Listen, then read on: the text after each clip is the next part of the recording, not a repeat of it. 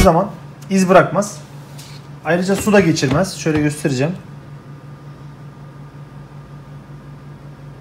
Isınmayla falan kesinlikle kalkmaz.